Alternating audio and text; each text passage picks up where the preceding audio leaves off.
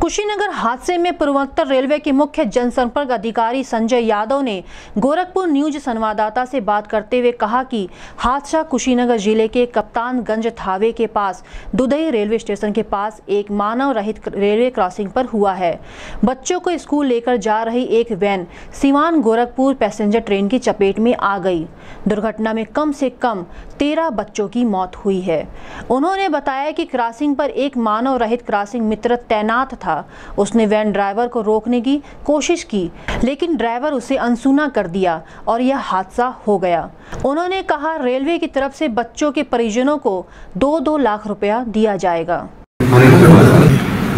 देखिए, आज सुबह सात बज के दस मिनट पर पूर्वोत्तर रेलवे के वाराणसी मंडल के कप्तानगंज थावे खंड में रेल खंड में दुधही स्टेशन के आसपास किलोमीटर पचहत्तर बटे एक दो पर अनमैंड लेवल क्रॉसिंग संख्या 45 पर एक भीषण दुर्घटना हुई, जिसमें एक स्कूल वैन से हमारी गाड़ी संख्या पचपन ज़ीरो पचहत्तर, सिवान गोरखपुर पैसेंजर टकरा गई, जिसमें कि अब तक तेरह बच्चों की मौत हो चुकी है और बाकी पाँच, चार बच्चे घायल हैं और एक ड्राइवर जो है वो भी घायल है।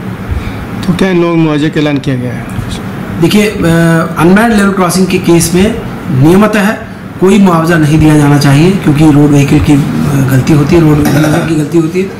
लेकिन मानवता के आधार पर हमारे माननीय रेल मंत्री जी ने प्रत्येक जो बच्चा जो जो इसमें जि, जिसने अपनी जान गंवाई है उसके परिवार को दो लाख रुपए का मुआवजा रेल मंत्री जी की तरफ़ से दिया जाएगा। घायलों का इलाज कहाँ हो रहा है? घायलों का इलाज अभी पडरौना के अस्पताल में सभी एडमिट थे। अब वहाँ से उनको शिफ्ट किया जा रहा है। यहाँ बी मेडिकल कॉलेज गोरखपुर।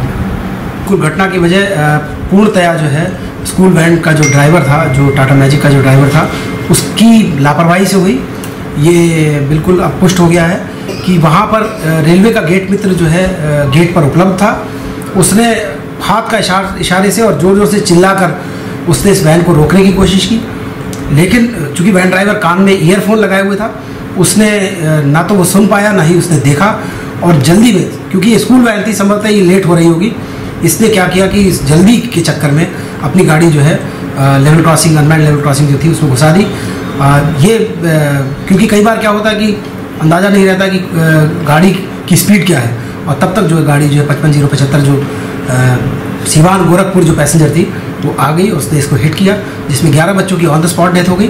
दो बच्चों को जो है हॉस्पिटल ले जाते समय डेथ हो गई उनकी सो हमने ये भी देखा है कि इस तरह के एक्सीडेंट्स में कि अनट्रेन ड्राइवर्स जिनको की कोई जानकारी नहीं है, वो लोग चलाते हैं और वो लोग कानों में ईयरफोन में तेज़ म्यूज़िक सुनते हैं, जिससे कि उनको आती हुई गाड़ी की आवाज़ नहीं सुनाई देती है।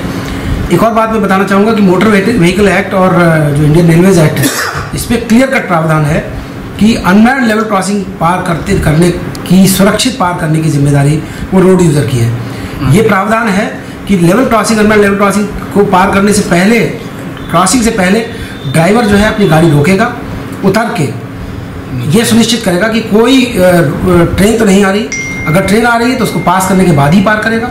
लेकिन ऐसा इस केस में नहीं किया गया और जल्दी से पार करने के चक्कर में ये बहुत बड़ा दुखद हादसा हो देखिए एन में लगभग सवा छः सौ के करीब अनमैंड गेट्स छः सौ अट्ठाईस गेट्स वो जिस छः सौ तैंतीस का जो आप फिगर बता रहे हैं वो एक अप्रैल का है उसके बाद भी कुछ एलिमिनेट हो गए तो लगभग सवा छः सौ के करीब गेट्स हैं अनमैंड गेट्स हैं।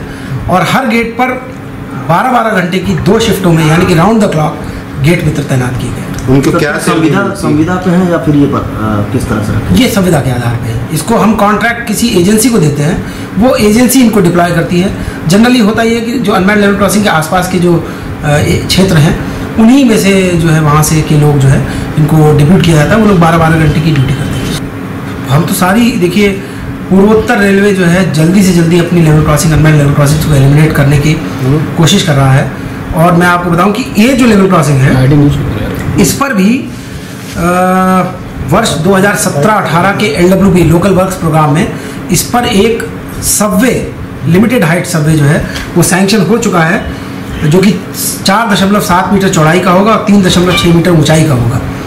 लेकिन इस पर अभी टेंडर की कॉल करने की प्रक्रिया चल रही है।